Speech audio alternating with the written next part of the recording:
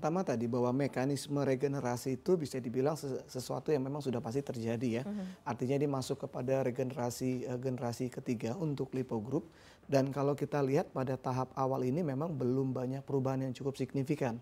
Kalau kita lihat bahwa beberapa aksi korporasi yang cukup signifikan dilakukan dalam beberapa waktu terakhir, bahkan beberapa hari terakhir adanya pengumuman rek isu, kita lebih melihat uh, lebih fokus bagaimana mencoba memperkuat uh, struktur keuangan perusahaan. Uh mhm. -huh. Jadi belum ada sebuah perubahan mengenai masalah arah bisnis ke depan, mengenai masalah turnaround dan sebagainya. Okay. Ketika begi begitu banyak tadi uh, beberapa permasalahan yang memang banyak menekan uh, eh, apa emiten grup Lipo Group ini khusus di sektor properti. Jadi uh mhm. -huh. kalau kita lihat tahap ini sampai saat ini masuknya generasi ketiga belum banyak ada perubahan strategi bisnis ya uh -huh. uh, dan uh -huh. ini yang memang masih ditunggu pasar. Jadi kita memang melihat bahwa ketika mulai uh, beralih ini lebih kepada persiapan dari emitennya sendiri dalam mempersiapkan masuknya generasi ketiga.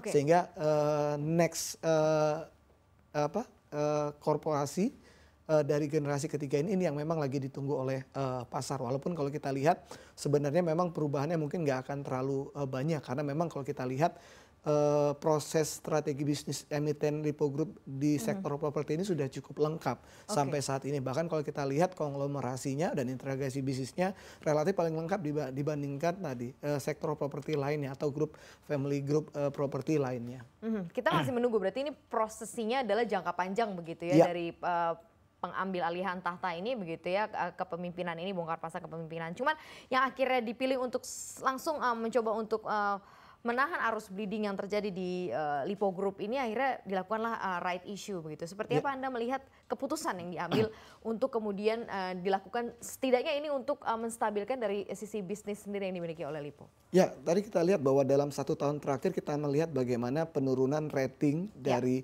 surat utang perseroan dan ya. itu bicaranya adalah uh, temanya likuiditas. Yes. Dan kalau kita lihat memang salah satu menjadi concern oleh emiten ini sendiri bicara masalah uh, prudent di uh, keuangan mereka struktur keuangan mereka. Jadi memang uh, divestasi juga sudah relatif cukup uh, sering mereka lakukan dari satu tahun terakhir, yaitu bagaimana mereka mencoba mengalihkan aset-aset mereka menjadi cash, uh -huh. dan ini yang mencoba men memperkuat likuiditasnya. Jadi kalau sekarang yang dilakukan adalah right issue juga adalah upaya yang sama, karena tadi bahwa sumber pendanaan bicara masalah uh, itemnya ada dua, uh -huh. kalau nggak dari hutang, dari uh, suntikan modal, uh -huh. dan kalau kita lihat hutang relatif cukup berat sekarang karena kondisi suku bunga sedang dalam kondisi yang tinggi apalagi mereka juga saat ini juga memiliki kondisi rating hutang yang relatif cukup uh, berat hmm. sehingga kalau mereka mau mendorong lagi dari sisi hutang untuk mendorong likuiditas maka mereka akan mendapatkan kos yang tinggi hmm. sehingga pilihannya bicaranya adalah maka right issue adalah langkah yang uh, cukup tepat sehingga dengan